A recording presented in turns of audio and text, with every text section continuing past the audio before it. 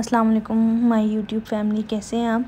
ये मैंने टू के जी गोश्त लिया और इसमें चार मीडियम अनियन है, चार मीडियम साइज़ के और तीन टमाटो हैं और one tablespoon one and half tablespoon ginger और one and half tablespoon garlic है और six six tablespoon green chillies हैं और और ये मसाले लिए हैं, जिसमें साल्ट है रेड चिली है और गरम मसाला इसमें और चिली फ्लेक्स हैं।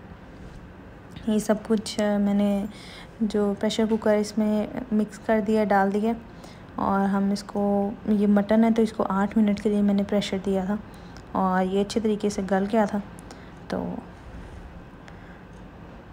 ये मैं इसके अंदर सब कुछ ऐड कर रही हूँ, जो जो मैंने आपको बताया। ये मैंने गार्लिक और जिंजर डाल दिया था। और ये ग्रीन चिली है।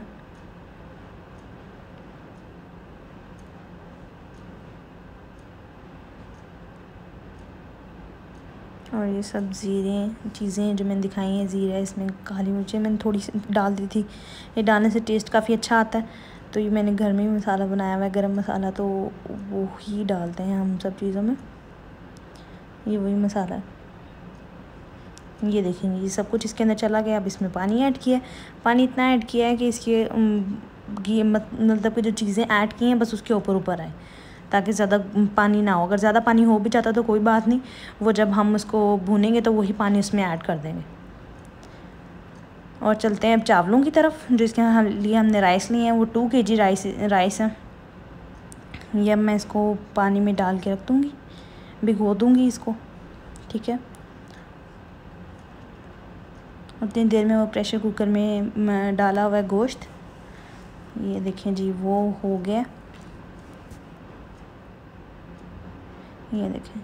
अगर आपने मसाला बना के बनाने हैं तो उससे तो बहुत अच्छा टेस्ट आता है। मैं इस इस वक्त जल्दी में थी तो मैंने इसलिए इस तरह से किया है कि इसमें से गोश्त निकाल के उसको मैंने अच्छे तरीके से भून लिया भूनने के बाद उसके अंदर ये जो पानी है, ये मैं इसके अंदर ऐड कर दूँगी। चावलों में। और ये देख सकते हैं। इसको अच्छे तरीके से भूनना है। और ये जो पानी है, ये मैंने देखें इस तरह से निकाला हुआ है। और जो हमने मटन निकाला इसको अच्छे तरीके से भूनना है। आप दूसरे तरीके से भी कर सकते हैं। आप प्याज, टमाटर जिस तरह हम चावलों का मसाला बनाते हैं, उस तरह मसाला बना के उसमें मटन ऐड करो तो उससे भी बहुत मज़े का पुलाव बनता है। मटन पुलाव तो आप इस तरह से भी ट्राई कर सकते हैं। ये देखें, अब ये जो पानी था, वो जो मटन का, वो मैंने इसमें ऐड कर दिया चावलों के मुताबिक, क्योंकि इसमें राइस थे, टू के जी थे तो मैंने उसमें फोर ग्लास पानी डालना था तो वो मैंने साइज़ करके यही पानी मैंने उसमें डाल दिया। इससे टेस्ट बहुत अच्छा आता है। अब देखिए, ये बॉयल हो रहे हैं राइस। पानी इनसे थोड़ा सा ऊपर था, ये बॉयल करने के बाद बिल्कुल बराबर हो गया, ठीक है? और ये देखें जी। इसकी स्मेल बहुत अच्छी आ रही है। उम्मीद करती हूँ आपको मेरी वीडियो पसंद आएगी। लाइक करें सब्सक्राइब करें और शेयर करें। ये देखें ये इनको अब पानी बिल्कुल खुश्क हो गया इसका। और अब हम इसको दम देंगे। दम देने के, दे, अब दम देने लगे ये देखें जी, दम दे दिया मैंने इसको। इसके ऊपर पोना डाल दिया। कोई भी आप कपड़ा लेके डाल सकते हैं।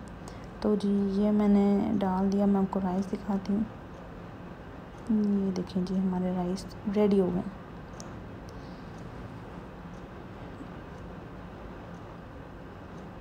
आप अपने कमेंट्स में बताएँ, आप आप किस चीज़ से रिलेटेड वीडियो देखना चाहते हैं?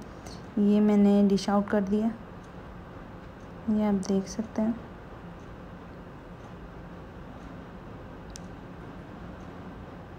अब मिलेंगे नेक्स्ट वीडियो में। अल्लाह हाफिज़।